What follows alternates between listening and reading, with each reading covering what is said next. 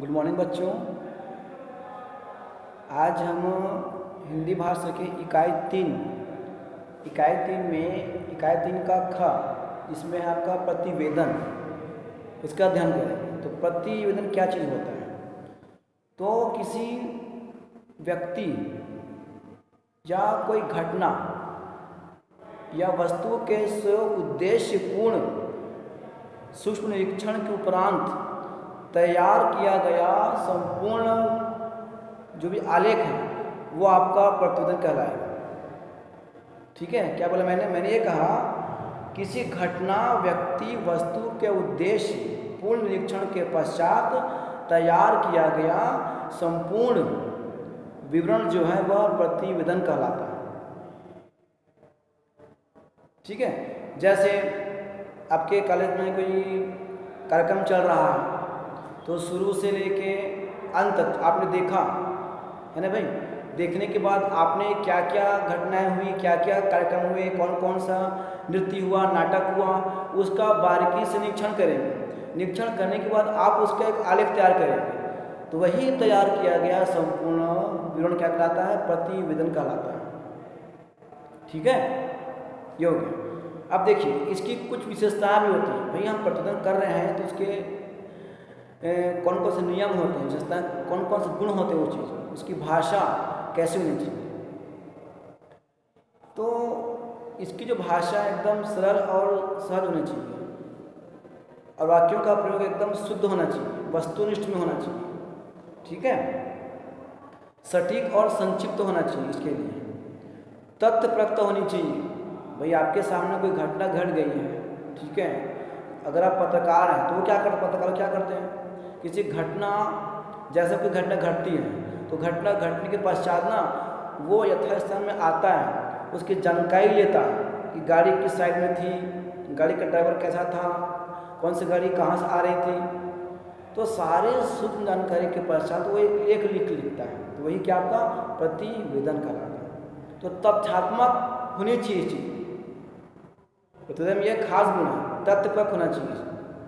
ठीक है? प्रतिवेदन विषय के अनुरूप, प्रतिवेदन में विषय के अनुरूप भाषा का प्रयोग करना चाहिए। बिना मतलब का उज्जवल भाषा का प्रयोग इसमें नहीं होता है। जो आप लिख रहे हैं, जो आप देखा है, उसी चीज़ को वहाँ पर वर्णन करना चाहिए। भाषा सटीक बताने के लिए आप लंबे चौड़े का प्रयोग करिए ठीक नहीं है। उसकी जो भाषा है वो अनुरूप होनी चाहिए, ठीक है? जी। प्रतिवेदन की विशेषता यही आता है इसमें और जैसे कोई और चीज़ें क्रमबद्धता है हाँ शुरुआत कहाँ से करेंगे, अंत कहाँ से करेंगे तो क्रमबद्ध भी होना चाहिए। क्रमबद्ध होना चाहिए या घटना घटी, हमारा कार्यक्रम हुआ तो शुरू में क्या हुआ? अतिथियों का स्वागत किया हो गया। फिर धीरे धीरे नाटक को देख करके, नृत्य को देख करके बच्चों ने खूब तलियाँ बजाई। अंत में क्या हुआ यह सब उसमें लिखना होता है ये आपका लगेगा प्रतिवेदन। ठीक है? फिर एक बार सुन लीजिए। किसी घटना, व्यक्ति, वस्तु के उद्देश्यपूर्ण निरीक्षण के पश्चात तैयार किया गया, वह संपूर्ण विवरण जो है प्रतिवेदन कहलाता है। ठीक है? चलिए, अब इसके आगे चर्चा करेंगे अगला चैप्टर का।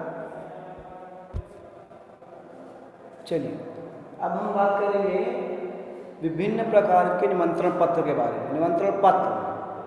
पत्र किस प्रकार के होते हैं? निमंत्रण पत्र किस प्रकार के होते हैं? तो सबसे पहले आप ये देखिएगा कि निमंत्रण पत्र है क्या चीज़?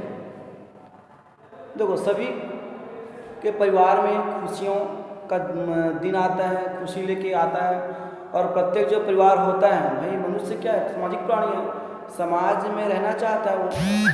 जो समाज में रहता है तो तरह तरह के उसके परिवार में कार्यक्रम भी होते हैं। है ना, उनको, उन, वो अपनी खुशियों को बांटते हैं। तो उन्हीं खुशियों को बांटने का एक तरीका है माध्यम क्या बनता है? पत्र बनता है।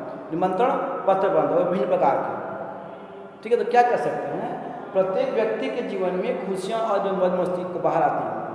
अतः यह उन खुशियों को बांटने का बांटने का एक माध्यम निमंत्रण पत्र।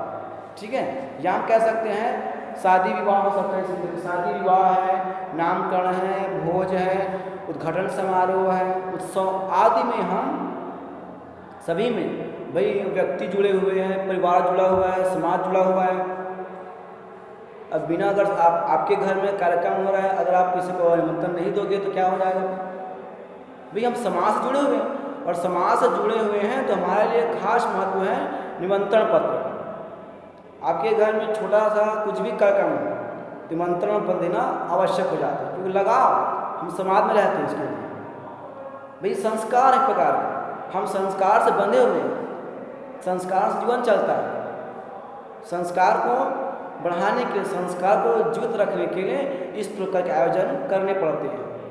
और हमें हमारे समाज के लोगों को निमंत्रण भेजना पड़ता है। तो ये पत्र उन्हीं प्रकार के हैं। ठीक है? जैसे, पहला इसमें शादी विवाह, निमंत्रण पत्र। प्रत्येक परिवार में शादी का भी दिन आता है, बच्चे बड़े हो जाते हैं तो शादी की नौबत आती है।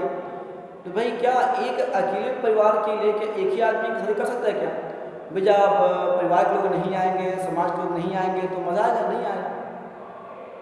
समाज के लोग ही नहीं है और आप शादी करने के लिए चल रहे हैं तो ठीक नहीं है। इसीलिए शादी के में कार्यक्रम में निमंत्रण पत्र आवश्यक हो जाता है। समाज के लोग आते हैं, जुड़ते हैं, संस्कार है। ठीक है? दूसरा आता है नामकरण संबंधी। जैसे घर में कोई बच्चा हो गया, नामकरण हो गया तो नाम का नाम देने के लिए, नवजात बच्चे का नाम देने के लिए षष्ठी का कार्यक्रम रखते हैं। नामकरण संस्कार, नामकरण संबंध, वो भी नियोजन पद के अंतर्गत आता है। ठीक है? फिर है भोज जब विभिन्न प्रकार के संस्कार होते हैं। नया नया मकान बन गया आपका, भोजन देना चाहते हैं खनक करना चाहते हैं तो उसके लिए भी तो प्रत्येक प्रकार के अलग अलग अलग पत्र होते हैं। भोज, विभिन्न प्रकार के संस्कार, उद्घाटन समारोह। आपने कोई नए ऑफ़िस खोला है? ठीक है। या कहीं नया मकान बनाए हुए उसका उद्घाटन करना चाहते हैं तो उद्घाटन के लिए भी आपको निमंत्रण पत्र भेजना पड़ता है। तभी तो लोग आएँगे। ठीक है। फिर आपका उत्सव। आपके घर में कोई कार्यक्रम रखा गया है? ना? साल में होता रहता कार्यक्रम, उत्सव मनाते रहते हैं। तो परिवार के साथ में अच्छा लगता है। परिवार के साथ अगर कोई समाज के लोग जुड़े तो अच्छा लगता है। यही है उत्सव संबंधी मनोरंजन पत्र भी लिखते हैं। ठीक है? फिर आपका व्याख्यान एवं स्वागत। भाई, घर में कार्यक्रम रखा गया है? आप कहीं जाते आपके आपके संबंधित संस्था में जुड़े हुए हैं। ठीक है? तो उस संस्था में जुड़े हुए हैं और किस सज्जन को उसका वो व्याख्यान सुनना चाहते हैं, उसको स्वागत करना चाहते हैं तो क्या करेंगे? भेजेंगे उसको। ठीक है?